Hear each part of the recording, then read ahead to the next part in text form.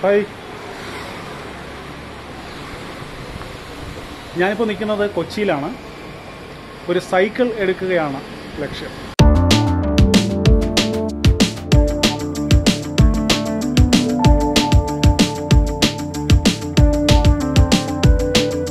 ഇപ്പോൾ സൈക്കിളിനെ കുറിച്ച് വളരെ ബേസിക് ആയിട്ടുള്ള നോളജ് മാത്രമേ എനിക്കുള്ളൂ. സാധാരണ നമ്മൾ നാട്ടുപുറത്തെ പണ്ടത്തെ സൈക്കിളൊക്കെ റെക്കുലി സൈക്കിളൊക്കെ ചവിട്ടിയുള്ള പരിചയം മാത്രമാണ് ഉള്ളത്. ഞാൻ ആദ്യമായിട്ടാണ് ഹൈബ്രിഡ് ബൈക്ക് എടുക്കുന്നത്. അതിനെന്നെ സഹായിക്കുന്ന എന്റെ ഏറ്റവും അടുത്ത സുഹൃത്ത് ഗിരീഷാണ്. ഗിരീഷ് ധനുഷ്കോടി വരെയൊക്കെ സൈക്കിളിൽ ബൈക്കിൽ പിന്നെ യാത്രയൊക്കെ പോയ ആളാണ്. സൈക്കിൾ ബൈസൈക്കിൾ എന്ന് പറയുന്നത് ശരിക്കും ഒരു ലൈഫ് സ്റ്റൈലാക്കി മാറ്റിയ ഒരാളാണ്. അപ്പൊ ഗിരീഷിനെ കൊണ്ടാണ് ഞാൻ വന്നത്. ഗിരീഷിന്റെ ഉപദേശപ്രകാരമാണ് നമ്മൾ ഇന്ന് ബൈക്ക് സെലക്ട് ചെയ്യുന്നത്. അപ്പൊ ഇതിന് നമ്മുടെ ടെക്നീഷ്യൻ ഉണ്ട്. അപ്പൊ ടെക്നീഷ്യൻ പേര്? ഷിനാജ്. ആ ഷിനാജ് ആണ്. ഷിനാജ് ഞാൻ ഇവിടെ വന്ന് പരിചയപ്പെട്ടു. അപ്പൊ ഷിനാജിനെ പോലുള്ള ഷോപ്പിൽ ഷോപ്പിലുണ്ടെന്നുണ്ടെങ്കിൽ തീർച്ചയായിട്ടും നമുക്ക് നല്ലൊരു ഗൈഡൻസ് ഒരു അഡ്വൈസ് നമുക്ക് ഉറപ്പായിട്ടും കിട്ടും.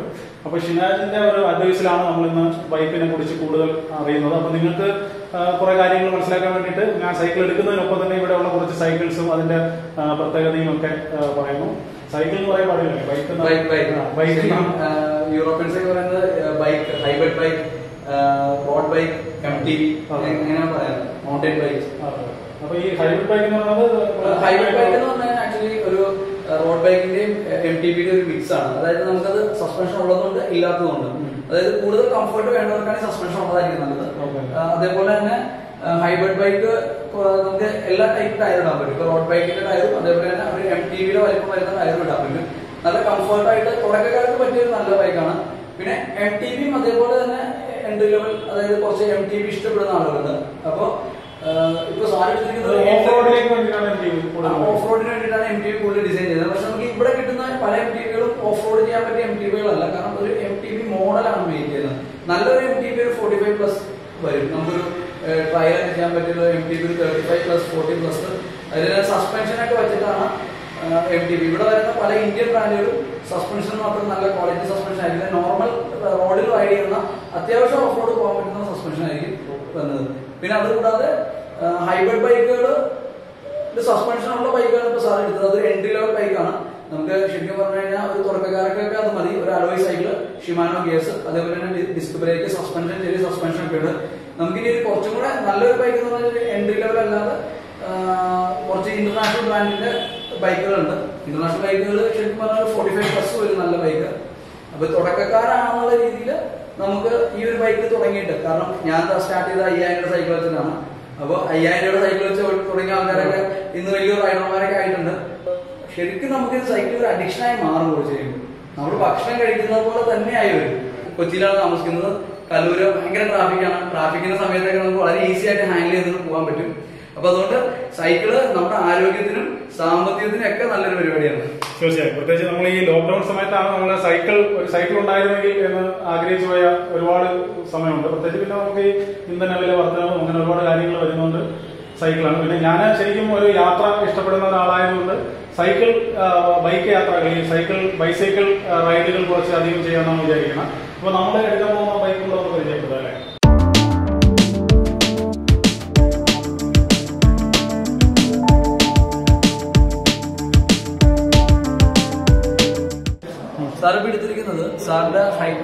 സാറിന് വൺ സെവന്റി ഫോർ ഹൈറ്റ് ആണ്.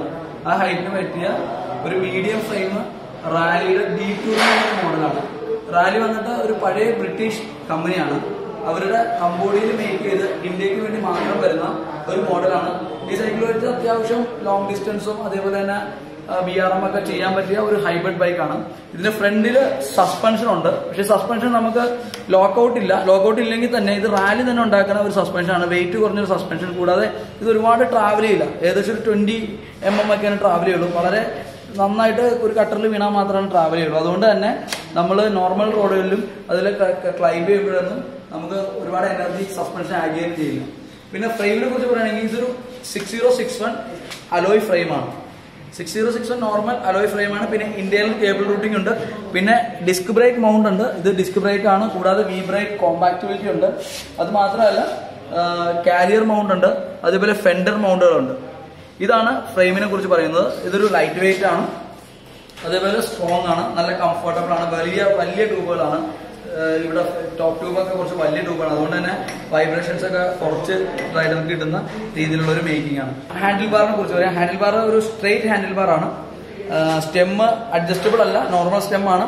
നമുക്ക് പിന്നീട് വേണമെന്നുണ്ടെങ്കിൽ കുറച്ച് ബെൻഡ ടൈപ്പ് ഹാൻഡിൽ ബാറിലേക്കും അതേപോലെ തന്നെ കുറച്ച് അഡ്ജസ്റ്റബിൾ സ്റ്റെമ്മിലേക്ക് നമുക്ക് ഇത് അപ്ഗ്രേഡ് ചെയ്യാൻ പറ്റും. കുറച്ചുകൂടി കംഫർട്ട് വേണമെന്നുണ്ടെങ്കിൽ. അതിൽ സീൽ പോസ്റ്റ് അലോയ് ആണ്.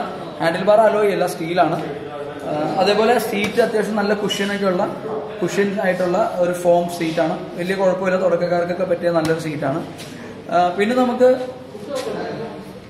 എഫ് ഡിനെ കുറിച്ച് പറയുവാണെങ്കിൽ ഇതൊരു ഞാൻ നേരത്തെ പറഞ്ഞിരുന്നു ഇതൊരു എൻട്രി ലെവൽ ബൈക്കാണ് അതുകൊണ്ട് തന്നെ ഷിമാനോടെ ബേസിക് ഗിയർ സിസ്റ്റമാണ് ഇതിൽ വന്നത്. ഇപ്പൊ തന്നെ നമുക്ക് അറിയാം ഷിമാനോ കിട്ടാറില്ല പലർക്കും കിട്ടാറില്ല. പല ബ്രാൻഡിലും മൈക്രോഷിഫ്റ്റ് പോലെ അല്ലെങ്കിൽ മൈക്രോഷിഫ്റ്റ് അത്യാവശ്യം നല്ല ബ്രാൻഡാണ് അല്ലാതെ അതിലും കുറഞ്ഞ ഗിയേഴ്സ് ഒക്കെയാണ് വരുന്നത്. പക്ഷെ ഇതിൽ വന്നിരിക്കുന്നത് കംപ്ലീറ്റ് ഷിമാനോ ഗിയർ സിസ്റ്റമാണ്. ഷിമാനോയുടെ ത്രീ ഇന്റു സെവൻ ഷിഫ്റ്റേഴ്സ് ആണ് വന്നിരിക്കുന്നത്. ബ്രേക്ക് ലിവറും ഷിഫ്റ്ററും ഒരുമിച്ച് വരുന്ന ഗിയർ സിസ്റ്റം ആണ് വന്നിരിക്കുന്നത്. ക്രാങ്ക് പ്രോവീലിന്റെ തന്നെ അലോയ് ക്രാങ്ക് ആണ്. പ്രോവീൽ എന്ന് പറഞ്ഞാൽ ക്രാങ്കും ബോട്ടം ബ്രാക്കറ്റും മാത്രം ഉണ്ടാക്കുന്ന വേൾഡിലെ ഒരു നല്ല ബ്രാൻഡാണ് ഷിമാനോ പോലെ തന്നെ ഷിമാനോടൊപ്പം നിൽക്കുന്ന ഒരു ബ്രാൻഡാണ് ക്രാങ്കിനെ കുറിച്ച് പറയുകയാണെങ്കിൽ ഇത് ഒരു ത്രീ സ്പീഡാണ് ട്രിപ്പിൾ മൂന്ന് ക്രാങ്കുകളാണ് വരുന്നത്.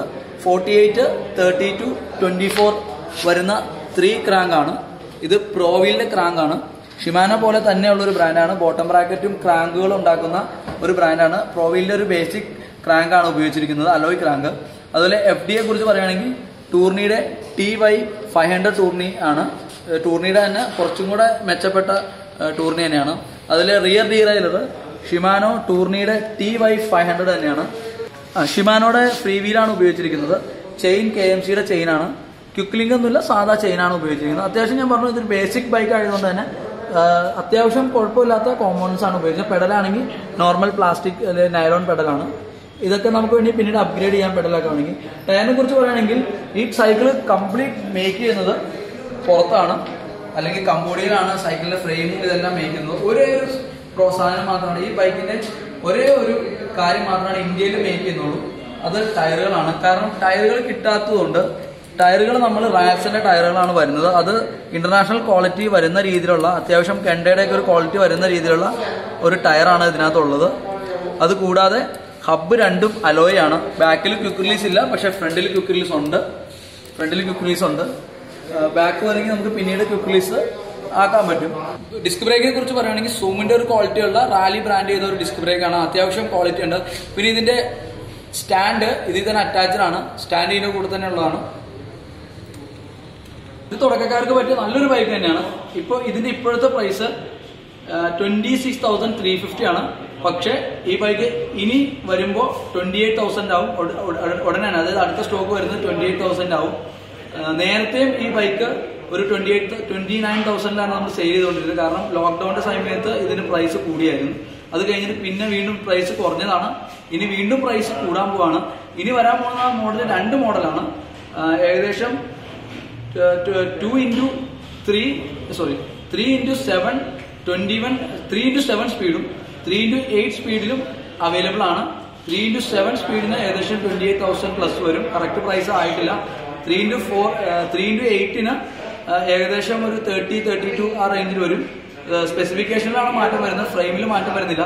പിന്നെ ഇതിന്റെ ഈ ബൈക്ക് ആർക്കൊക്കെ ഉപയോഗിക്കാൻ പറ്റും? തുടക്കക്കാരായിട്ടുള്ള ആളുകൾക്ക് എല്ലാവർക്കും ഉപയോഗിക്കാൻ പറ്റിയ നല്ല കംഫർട്ട് ആയിട്ടുള്ള ഒരു ബൈക്കാണ് അത് മാത്രമല്ല ഏകദേശം ഒരു നൂറ്റി അറുപത്തഞ്ച് സെന്റിമീറ്റർ മുതൽ നൂറ്റി എഴുപത്തെട്ട് സെന്റിമീറ്റർ വരെ ഹൈറ്റുള്ളവർക്ക് പറ്റിയ ഒരു ബൈക്കാണിത് ഇതിൽ ചവിട്ടി ഒന്ന് എക്സ്പീരിയൻസ് ബൈക്കിൽ ചവിട്ടി ഒന്ന് എക്സ്പീരിയൻസ് ആയതിനു ശേഷം അടുത്ത ഒരു അപ്ഗ്രേഡ് നടത്താമെന്നാണ് ചോദിക്കുന്നത്